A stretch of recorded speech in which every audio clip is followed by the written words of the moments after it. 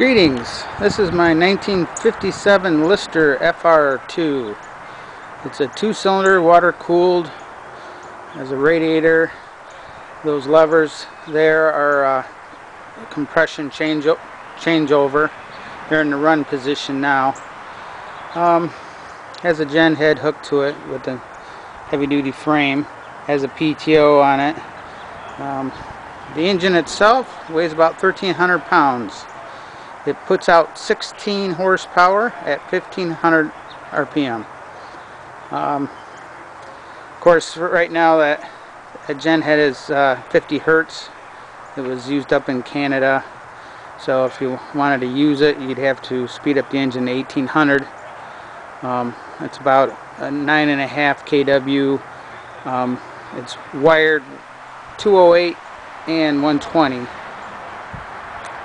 Um, but anyway, the engine is the, the star here. Um, starts up and runs good. Um, has a big uh, flywheel. This does have a decompression lever. So you can start it by hand, but I do not have a uh, hand crank. It does have a 12 volt starter and pretty sweet machine when I start this up uh, probably smoke for about under 10 seconds and it's clear clear as can be. But um, I'll start it up for you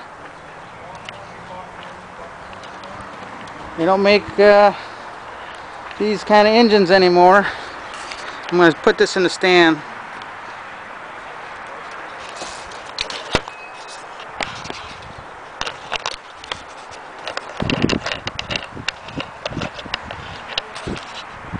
well if I can